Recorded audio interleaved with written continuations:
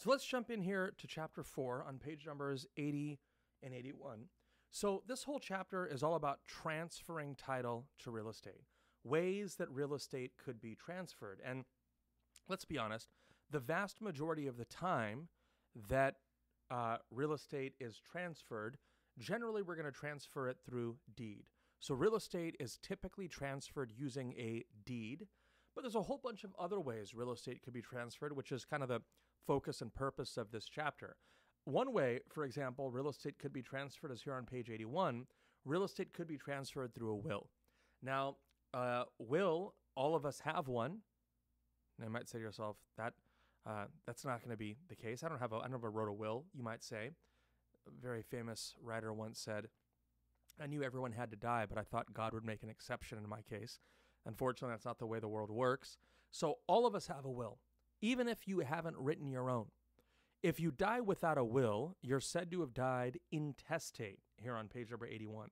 And you'll see this term intestate at the top of 81. Intestate basically means you've died without having make, having made a will. Now, succession is basically California's will for you. So California's will for you, of course, is called succession at the top of page number 81. Now, here's something to think about with regard to succession. If you haven't written your own will, you've died intestate. California's will for you is called succession. Now, there's a couple of vocabulary words at the bottom of page 81 that we should have a look at. One of these is the word devise at the bottom of 81. So, a devise is a gift of real estate by will. So, a gift of real estate by will is called a devise. So, watch. Uncle Fred dies and leaves you his house in his will.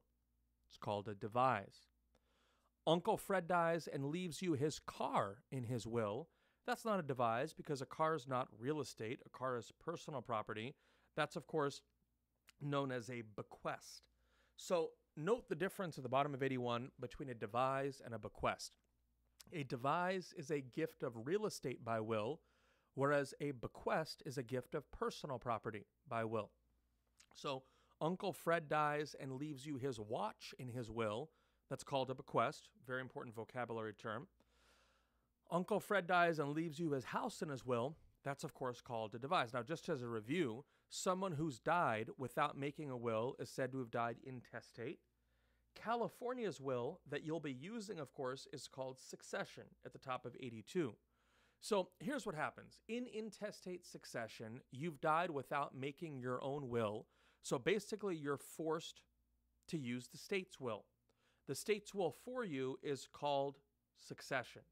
Now, if you have community property, you'll remember from chapter number three, the last chapter, you'll recall that community property could be willed. Now, if you die intestate without a will, your half of your community property in California will go to the spouse, right? Because you didn't make a will. Now, you could will that half of that home or that car or whatever it is to someone else if it's community property. But if you die intestate, it'll end up with the spouse, the surviving spouse.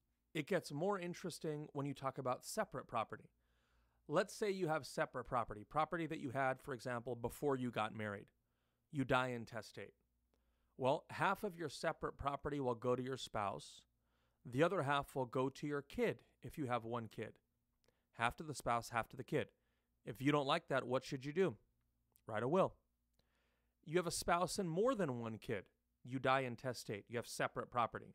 One third will go to the spouse. Two thirds will be distributed equally amongst the kids. If you don't like that, what do you need to do? Write a will. So, intestate succession is only relevant if you die without having made your own will. Now, if you have a will, of course, page number 82 is irrelevant because you're going to be using your will. But if you die intestate, the state's got to know what to do with your stuff. They have this flow chart called intestate succession. So, watch. Let's say you had a spouse and five kids. You have separate property, you die intestate. One third will go to the spouse. Two thirds will be distributed equally amongst the five kids. If you don't like any of that, what do you need to do? You need to make a will.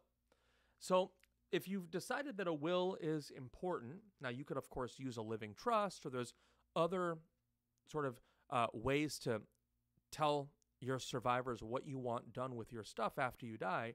But let's assume at the top of 83 you're using a will. Now, there's two types of wills that are important for us to know for our test. One of these is called a witnessed will at the top of 83. Now, a witnessed will is what it sounds like. A witnessed will is a will that you sign and somebody else countersigns it. Maybe it's an attorney, maybe it's, for example, a uh, notary, but you sign the will and somebody else signs next to you saying that they saw you sign it. That's a witnessed will. By the way, does this sound like a pretty safe type of will? Of course, because you're signing it and a witness is signing next to you, it seems pretty safe. Another type of will is a holographic will. A holographic will at the top of 83 is a will that is made entirely in the handwriting of the maker. So a completely handwritten will is a holographic will. Now, because a holographic will is entirely handwritten, the will actually does not need to be witnessed. So a holographic will is still signed and dated, but it doesn't need to be witnessed because it's entirely in the handwriting of the maker. Now, a great way to look at this is uh, in 1976, two very wealthy people died that same year in 76 J. Paul Getty and Howard Hughes, both brilliant business people, but they both died in 76. Now, J. Paul Getty, very organized, very fastidious. J. Paul Getty had a properly drafted witnessed will. His estate wrapped relatively quickly, given its size. I mean, he was worth about $2 billion at the time of his death in 1976.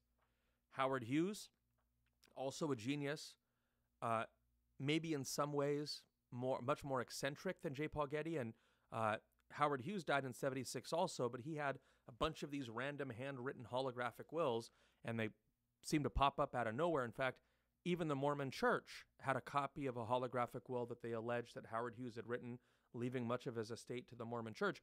His estate took decades to wrap up because a holographic will is quite easily challenged and it can spend a lot of time in probate. So, a will entirely handwritten, of course, is a holographic will. Now, you might see this question on the test asked like this There can be no typed portions of what kind of will?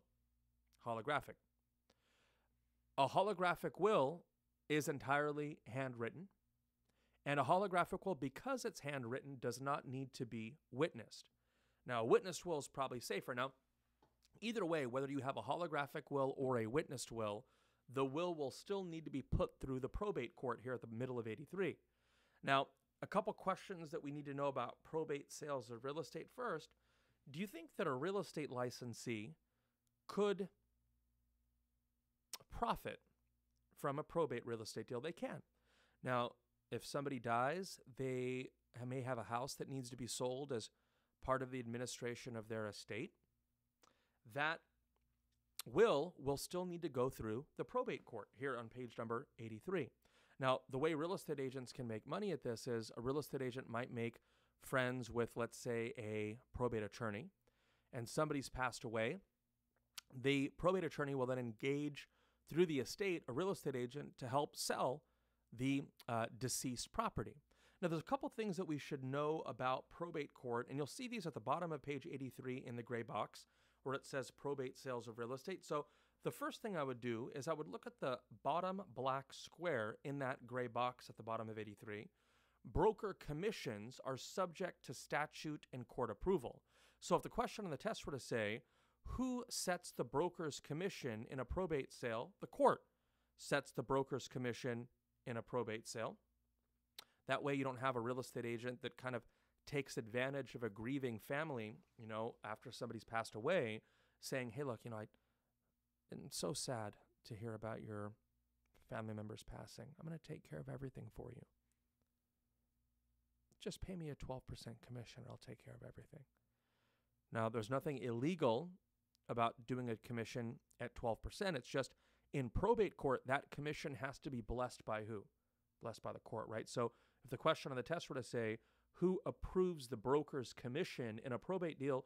The court approves the broker's commission in a probate deal. Another thing I'd look at at the bottom of 83 is because it's on the test but not in the book, I would write the words minimum bid equals 90% of the appraised value.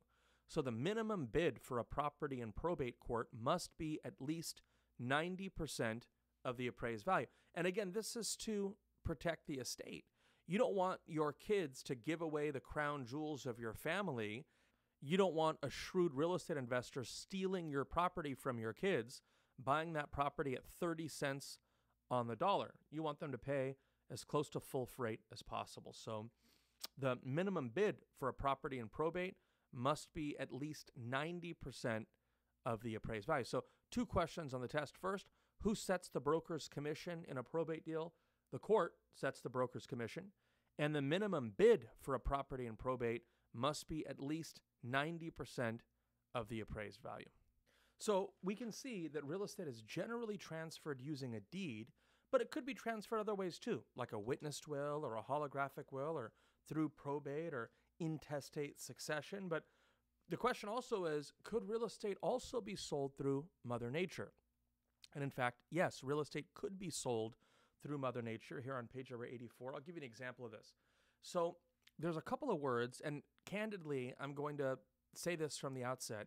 These words are not very uh, pleasing, mainly because they all look the same, problem number one.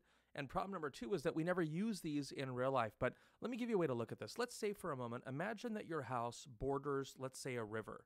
So your house borders a river, and let's say one season there is a high tide that basically moves soil onto your shoreline.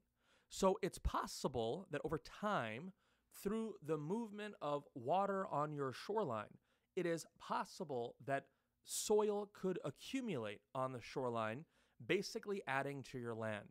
That process of the water moving soil onto your shoreline is called accretion. And you'll see this term accretion at the middle of page 84, right below this gray box. The word is accretion. So, accretion is the gradual accumulation of soil on property bordering flowing water. So, the gradual accumulation of soil on property bordering flowing water is, of course, known as accretion. Now, when you wake up in the morning and accretion has added, let's say, 10 inches to your shoreline, you actually own all that extra soil. That legal theory that says you own that land that deposited onto your shoreline, that's known as accession. And you'll see that term accession at the top of 84. So Again, I know these words sound and look real similar, but they're different. Accretion is the gradual accumulation of soil on property bordering flowing water. That's, of course, known as accretion. Title transfer by accretion is known as accession. So, accession says, I now own all that extra soil. Now, the soil itself has a very special name. That soil is known as alluvium soil. And you'll see this word at the middle of page 84 under this paragraph of accretion. You'll see the word alluvium soil. Now, alluvium soil is the name of the soil that was deposited by accretion. So we have three words that are super important for the test. The first is accretion. Accretion is the gradual accumulation of soil on property bordering flowing water. That's accretion. Title transfer by accretion is known as accession. Soil deposited by accretion is known as alluvium soil. Now, no one's ever going to come up to you and ask you whether or not that's alluvium soil, right? That conversation is not going to happen, but uh, we need to know it for the test. And the last word is avulsion. And you'll see this word avulsion at the bottom of 84, uh, kind of above that word reliction, by the way, since we're on the topic of reliction, reliction is basically where a river recedes, exposing the land underneath the river. So that's known as reliction. But above reliction, you'll see the term avulsion. Avulsion is the violent and sudden tearing away of land by action of water. So maybe you own a property adjacent to a river. There's some big storm and a chunk of your land comes detached from the riverbed. That separation is known as avulsion. So, those are our four words that are pretty important to know for the test. Number one, the gradual accumulation of soil on property bordering a flowing body of water. That's accretion. Title transfer by accretion is known as accession. Soil deposited by accretion is known as alluvium soil. And finally, the violent and sudden tearing away of land by action of water is known as avulsion. So even Mother Nature can cause uh, property to grow through accretion and accession. So that's another title transfer method, ways to transfer real estate, accretion, accession. We talked about a witnessed and a holographic will, talked about intestate succession, talked about probate. These are all ways to transfer title to real estate. But real estate could also be transferred hostily. And a lot of people ask about squatters' rights, for example, and if somebody just breaks into a house with a bunch of guns and some grenades, can they actually take over a property? California actually does not recognize squatters' rights in that way, which actually makes sense. I mean, it seems odd that somebody could just break into a house with a bunch of guns and say, hey, this is mine now. But the closest thing we have to squatters' rights in California is here on page 85, and it's a concept known as adverse possession. Now, think of that word adverse. If you and I are adversaries, what does that mean? It means we're enemies, right? We're hostile to one another. So, adverse possession is basically a hostile takeover of real estate. Now, I'll give you an example of how this works. And again, you can probably imagine that adverse possession is a very rare way that real estate is transferred. But this whole chapter is about transferring title to real estate. So, we'll go over all the ways that real estate could be transferred keeping in mind that in practice, the main way that real estate is transferred is, of course, by deed. It's not by adverse possession. It's not by, you know, accretion. It's not by a holographic will. It's generally through the use of a deed. But let's look here on page 85 at this concept of adverse possession. Now, imagine this. Imagine every morning you live in Newport Beach. So every morning you like to take a run on the sand. So or the boardwalk. So every morning, you know, 5:30, you run for about an hour. So every morning you take this run in Newport Beach, and one day you look up and you see this beautiful home. Ah, that's a nice house. Every morning you run past this house, and it's like you it's this weird kind of obsession almost. Like, man, that's a beautiful house. And a couple of weeks, three, four, five weeks later, you think, no one's ever in that house. And you make a mental note, hey, look, this house is beautiful, but no one's ever in it. And you keep running by the home. Seven, eight months later, you're like, man, what a waste this beautiful house here in Newport Beach overlooking the world and no one even ever uses it. I wonder I wonder if anybody's even there. So you run up to the back door and you kind of jiggle it a little bit and it opens. And you're like, man, I'm, I'm standing in this beautiful home. And you think to yourself again, what a waste. I can't believe someone would have this beautiful house here in Newport Beach and not even live in it. So you think to yourself, I should live here. That's the first requirement to adverse possession is that you nacho the land. N A C H O. Now, if you look at the bottom of 85, the book, of course, uses the term oncha, O N C H A. Nacho are the same letters. It's just easier to remember nacho than oncha. So if you notoriously, N for nacho, adversely, continuously, hostilely, and openly occupy someone else's land for five years. Now, in my story, I'm saying that you're living there, but legally, for adverse possession to work, you don't actually have to live there. All you have to do is occupy the property. Now, that can mean maybe you're trying to adversely possess a farm right next to your farm. You could fence that neighbor's farm in, and that would constitute occupation. So you just have to occupy the property openly and notoriously and adversely. Adversely means without the current owner's permission for five years. That's the first requirement for adverse possession. Now, Imagine that's actually my house that you just broke into. And let's imagine that I live in Ireland full time, basically the other side of the world. If you're occupying my property for five continuous years, even though I live in Ireland, would I probably come to know about that? Yeah, probably for five years. Now, if the requirement was five days, maybe you could sneak past me for a week and I wouldn't recognize it. But we're talking five years. You have to openly and notoriously occupy that property for half a decade. Now, how would I come to know about that? Well, maybe I would, I don't know, I would fly out to Newport Beach once in the next five years and I would see you living there. Maybe a neighbor would call me. Maybe, for example, I'd look at Google Earth or Google Street View and I would come to realize that you're in my house. But five years of you living in my house, the law says, I don't know, maybe you do own it if you could get away with living there for five years. So that's the first requirement for adverse possession is you basically have to occupy the property for five years. The second requirement for adverse possession is that you have to pay the property taxes on the property for five years also. Now, some people ask, well, how the heck could you pay someone else's property taxes? Actually, paying someone else's property taxes are uh, maybe the easiest thing you could do because, first, everyone's property tax payment amounts are public record. And number two, everyone says their tax payments to the same place. So now, if you pay my property taxes once, I might think to myself, man, I'm a lucky guy. You pay them twice, I might think, man, I'm really lucky. But by the third, fourth, or fifth, or sixth time you pay my taxes, remember, we pay taxes in California twice a year. By the fifth, sixth, seventh time you're paying my taxes in a row, I might think to myself, hey, something's something's sideways about this. I better check it out. So the first requirement is that you got to nacho the land, notoriously, adversely, continuously hostile, and openly occupy the property for five years. Number two, you got to pay the property taxes on the property for five years. And number three, of course, you must file something called a claim of right or color of title. And you'll see this at the middle of page 85 in number three. Color of title or claim of right. Basically, you must have some good faith legal basis why you believe you're entitled to that property. Now, here's an example of a claim of right or color of title. Maybe you paid me $2 million for my house. We had a contract where you were going to pay $2 million. I took your money and I never gave you a deed.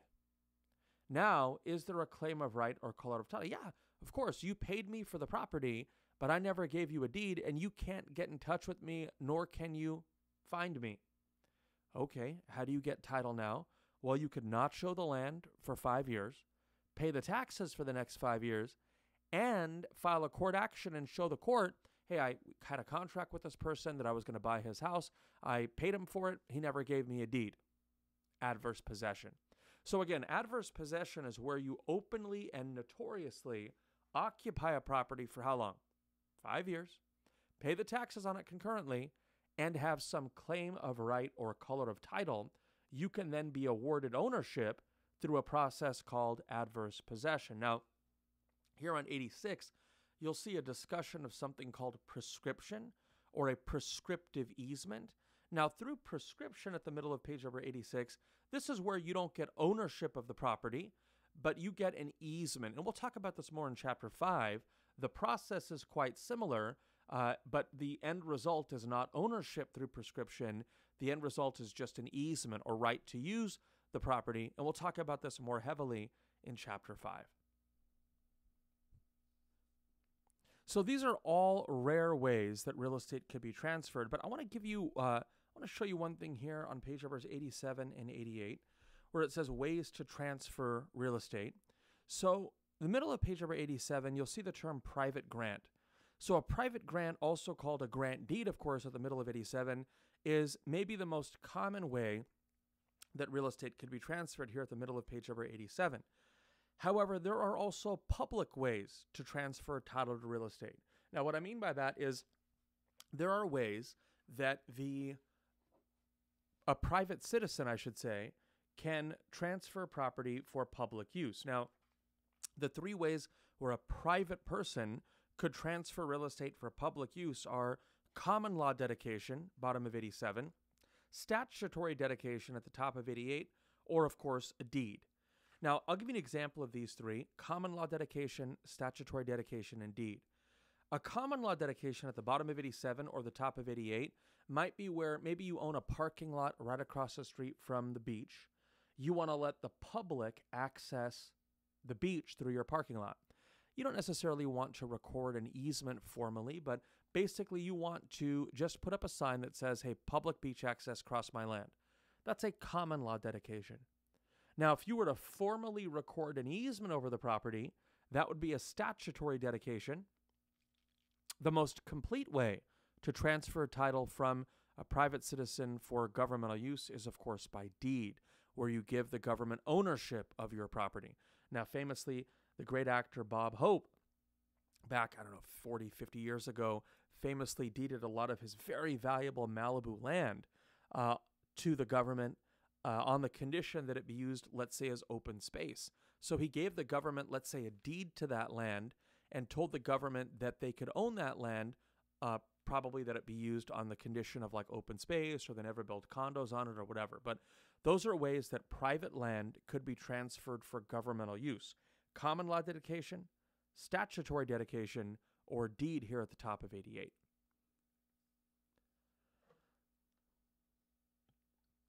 Now, there's another way on page 89 that real estate could be transferred to the government, and that's a process known as escheat. Now, this term escheat, the word cheat is actually quite appropriate because the government's not actually paying you for it in escheat. So basically, in escheat, here's what happens you die without a will. That's called dying intestate. Now, we talked about what happens if you die intestate, right? Your stuff will go to the half, if it's separate property, half to the spouse, half to the kid, one third to the spouse, two thirds to the kids. If it's community property, it transfers to the spouse. So we talked about all that already. The problem with succession is that in all those instances, it assumes that you have heirs. What happens if you die intestate and there aren't any heirs? Then what happens? Well, then the state takes your property in a process called escheat.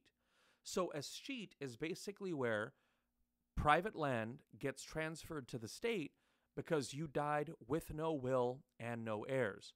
Now, if that scares you because you don't want your property to escheat to the state, you could make a will, or I guess you could make a baby, right? One of the two, and your property will never escheat to the government. So be careful of this question on the test. If the question asks the reverting of a property to the state due to no will and no heirs is known as what? Escheat. Escheat requires a waiting period, of course, of five years.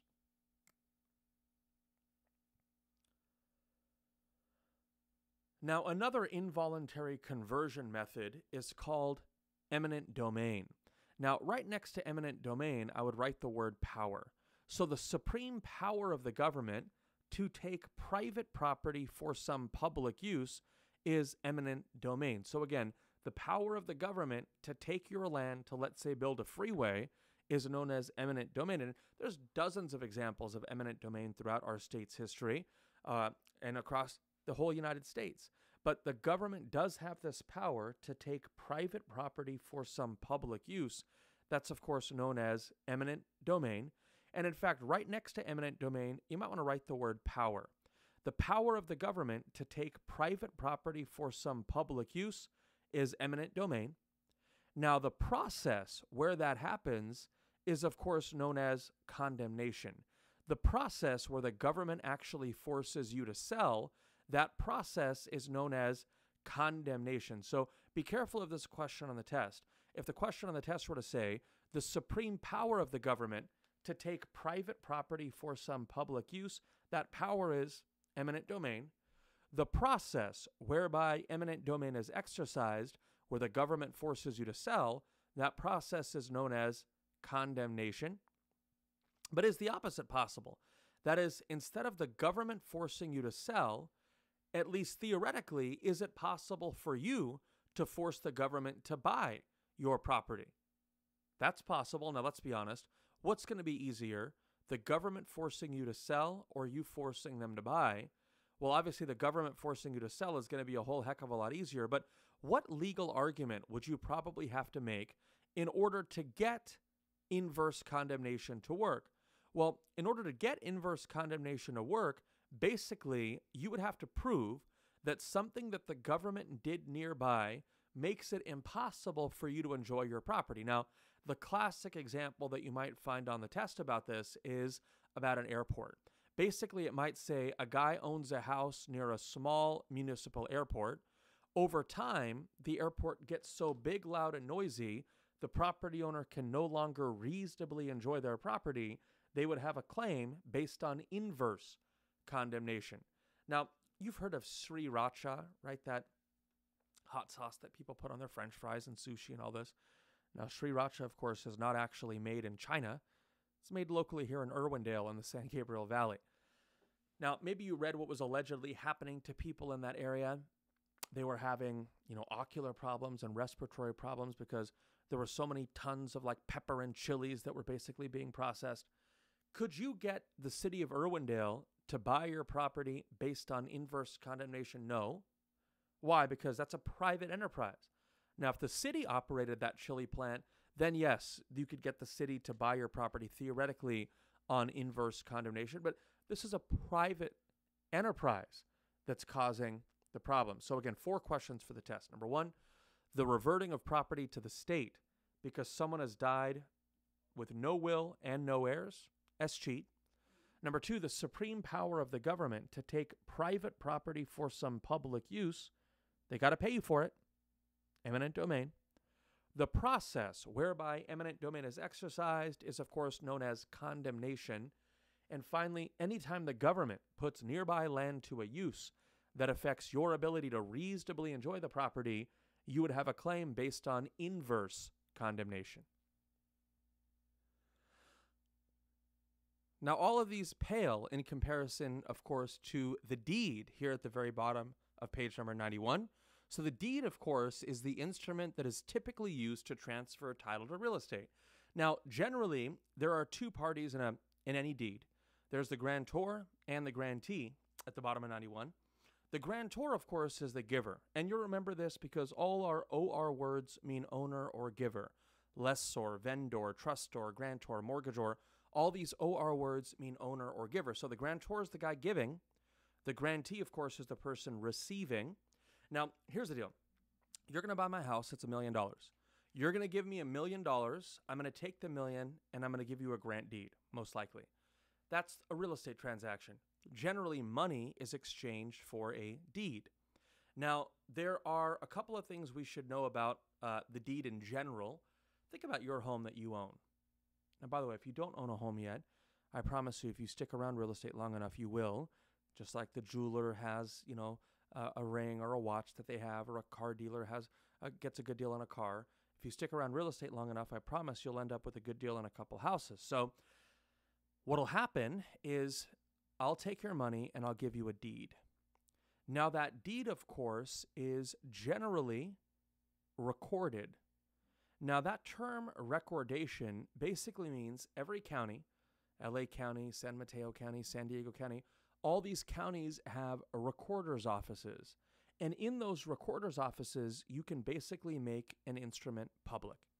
Now, recording is actually a very safe way of ensuring your ownership is not questioned, but it's not legally required, which seems crazy. Deeds don't have to be recorded in order to be valid, but they should be recorded. So think about this. If I gave you a deed to the house and you never recorded it, in the public record, I would still show as the owner of that property. That's not good because whenever you go to then sell that property later, it won't show you as the current owner of record. It'll show me as the owner of record. That's a problem. And if you, by the way, if you didn't record the deed and you lost it, that is a massive problem for you because you might not have a way to show that you're the legal owner. So, again, recording a deed is absolutely critical, but it is not legally required. In fact, if you look at the bottom of 93, where it says acknowledgement and recording, I would make a little note at the bottom of 93. I would write the words, and neither are required. Deeds do not need to be recorded in order to be valid. Deeds also don't need to be acknowledged in order to be valid. Now, the term acknowledgement, and you'll see this on 93 and 94, the term acknowledgement is just a fancy way of saying notarize. So deeds don't need to be notarized to be valid. Deeds don't need to be recorded to be valid. However, here's the question you might find on the test. If you want to record a deed, the deed first has to have been notarized. Now, what does a notary do? A notary is basically a witness. A notary watches you sign something, verifies that you are who you say you are by looking at your government issued ID, and they take your thumbprint. Now, the only reason they take your thumbprint is because if you then later, after signing the document, tried to deny that you were the one who actually signed the document, well, the notary is going to pull out their journal and say, well, why the heck is your thumbprint in my book if you weren't actually the one that signed the deed? So, acknowledgement is required to record. However, acknowledgement nor recordation are required for the validity of a deed. So deeds don't need to be notarized nor recorded to be valid, but if you want to record, it first has to have been notarized. In fact, you might see this question on the test. The principal reason most people notarize their deeds is to prepare them for recordation. Also, recording is important because it completes at the top of page 95 the chain of title. Now, the chain of title is a, basically a record of all the owners on a property. So, Bob sells to Mary, Mary sells to Steve, Steve sells to Bill. That's the chain of title. Unrecorded deeds would, of course, break the chain of title because if Bob sold to Mary, but Mary never recorded it, and then Mary sells to Steve, you'll not you'll not see that Bob to Mary transfer in the chain of title. So unrecorded deeds again basically break the chain of title at the top of page 95. So there are many different kinds of deeds. There's a grant deed, a quitclaim deed, a warranty deed, a gift deed. Depending on the word you put in front of the word deed, this will change the meaning of the word deed. For example, think of the term grant deed here at the bottom of page number 95. Now, the grant deed is the most common type of deed in California. Think about the word grant. Grant basically means give. So if I sold my property to you, I'm most likely going to give you a grant deed. Now, I hope at the bottom of 95, you write two words down at the bottom of 95. I'd write the words most common.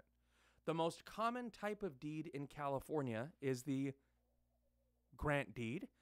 And the reason that the grant deed is the most common is because at the bottom of 95, you'll see two implied warranties in the grant deed.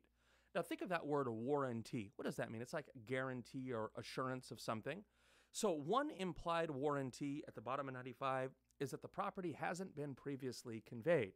Now, what that means is if you bought my house and I gave you a grant deed, wouldn't it be important for you to know that I haven't already given that property to someone else. Of course, that seems like a pretty fundamental warranty that I give you a grant deed and I haven't already sold that property to someone else. That's pretty fundamental. The second implied warranty at the bottom of 95 is that the property is free of undisclosed encumbrances. Now, think of that word. What's an encumbrance? An encumbrance is a burden to the title. Now, I could sell you my house that has a property tax lien, a child support lien, two judgments, and an income tax lien, and I could even leave all those liens on there, but I got to tell you about those liens. So you want to be very careful for the test. The test might say, does the grant deed have an implied warranty that there are no encumbrances? No. It's just that there are no undisclosed encumbrances. So those are two pretty key warranties in a grant deed. One, that the property hasn't been previously conveyed.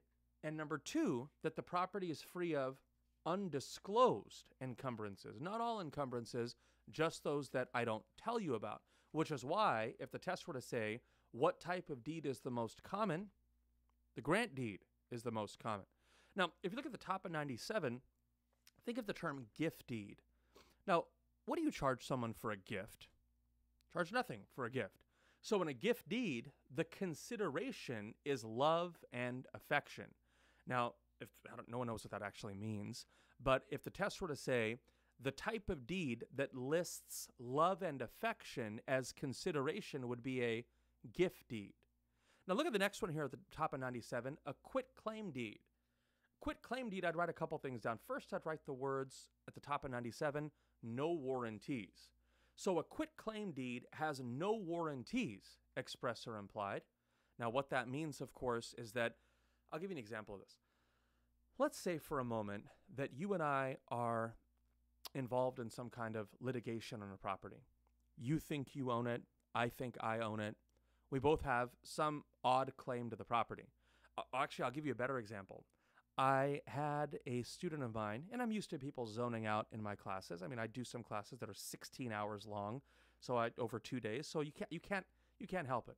So one time recently in Santa Monica, I was doing a class, and about two hours into the class, one of the students just laid down on the ground and fell asleep. So at the break, I woke him up and I said, "Hey, are you okay?" I said, "Just take this class next week. I'm doing the same thing next week." And he goes, "Oh, I'm so stressed out." And I said, Yeah, you seem a little stressed out. And he goes, Yeah, I'm the manager at the Red Lobster here uh, in LA. And I said, I've been to that Red Lobster mostly on Valentine's Day, but uh, I said, uh, I've been to that Red Lobster. It's quite busy. And he goes, Yeah, about six months ago, one of the bus boys was uh, kind of, we closed the restaurant at midnight, and it was one in the morning. I was getting ready to leave, and the busboy was sitting next to the dumpster in the alley. And I, I said, uh, Are you okay? And he goes, You know, I'm kind of homeless right now. And he goes, Well, you know what, man, you could crash on my couch for a couple weeks. It's not a big deal. And uh, the busboy said, Really? And he goes, Yeah, just crash on my couch. Not a big deal. So he was only supposed to stay there for about a week. One week turned into two weeks. That turns into about a month. And the busboy had actually brought his father, apparently, into the house to stay with them.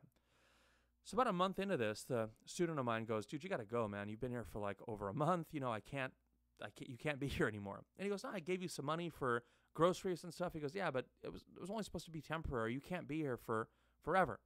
So the busboy goes, "I actually own some of this condo with you." And the student goes, "You're a lunatic. That's insane. You don't own any of this condo with me. I'm going to call the police." Now the police show up, and the police said, "Well, how did this busboy get in here?" And he goes, Well, I let him crash on my couch. He goes, and he goes, Yeah, I even paid him some rent. He goes, Did he give you money? Goes, Yeah, he gave me some money. The police said, Well, unfortunately, this is now a civil matter. You have to evict the busboy. Now, who claimed that they owned that condo? The busboy, like an idiot. Who actually owned that condo? The student. We are in a lis pendens. We have a uh, color of title issue here. Now, in order to get that busboy to go away, actually, the student needed to pay like $1,500 to get the busboy to leave and sign a quit claim deed. So a quit claim deed released interest in that property, but without any warranty. The busboy had no legitimate legal claim to that property, but to release the claim, we sign a quit claim deed. So, long story short, what document do we use to release title on a property or give up title? Quit claim deed. How many warranties does a quit claim deed have? None. The quit claim deed has no warranties, not even that you owned any of that property to begin with. Now, the warranty deed below that at the bottom of 97 is the opposite. Right next to warranty deed, I'd write the words express warranties. The warranty deed lists all the warranties that you have in that property. The grant deed has implied warranties, whereas the warranty deed has express warranties. The warranty deed lists all the warranties that you have in the property. Now, the last deed here before we wrap up chapter 4 is the trust deed. And right next to trust deed at the bottom of 97, I'd write the word mortgage. The trust deed is the California equivalent of the mortgage. So I know that might seem odd because we use that term mortgage constantly, right? Wells Fargo home mortgage, I refinance my mortgage, what's your mortgage payment? Everyone uses the term mortgage, but in California, we don't actually use mortgages, we use trust deeds. Now, I'll give you an example of this. Let's say that you were to pay cash for my house. I'm going to take your cash and I'm going to give you a grant deed. That's a real estate deal. I take your cash, I give you a grant deed. But most likely, you're not going to pay cash for my house. Let's say my house is a million bucks. You'll pay 200,000 of your own money, 800,000 from a bank, and I'll give you a grant deed. So you're going to use some of your own money, some of the bank's money, and you're going to give me a I'm going to give you a grant deed, I should say but you'll still have to sign a trust deed for the lender. The deed of trust basically is where you transfer title to the property, basically to a representative of the lender, and Wells Fargo's representative actually holds the title to your property while you owe the bank money. It's kind of like the title to your car. If you owe money on your car, the title to your car, of course, is with the bank. Now, this doesn't affect your life in any way. For example, you still got to put gas in your car. You still got to wash it, change the oil. It's your car. It's just that the title to your car is held with the bank. Same thing on your house. If you owe money on your house, the title to your house is basically with the bank. Now, just like with your car, if you paid off that car, you're going to want the title back. Same thing if you pay off your house at the top of page number 98, you're going to get something called a reconveyance deed. So, right next to reconveyance deed at the top of page 98, I would write the words payoff loan. Anytime you pay off your loan, the document that you get is a reconveyance deed. So, that's a pretty commonly asked question on the test. The instrument used to clear the record from a deed of trust is a reconveyance deed. So if you have a loan on your house, you'll still have a grant deed, but you'll also sign a trust deed to benefit the lender. Once you pay off that loan, the lender will give you a reconveyance deed showing that you no longer owe any money to the bank. So you can see there's many different kinds of deeds in a piece of real estate. When you initially buy the house, you're probably going to get a grant deed. If you get a divorce, your wife or husband will sign a quit claim deed when they release their interest. When you pay off the loan, you'll have a reconveyance deed. So many different kinds of deeds. The document used to transfer title to real estate is a deed. The word in front of the word deed will determine why you use that deed. Gift deed, it's a gift. Quit claim deed, you're releasing interest. You get a loan on a property, going to have a trust deed. So this concludes chapter 4. We'll catch you in a little bit for chapter 5.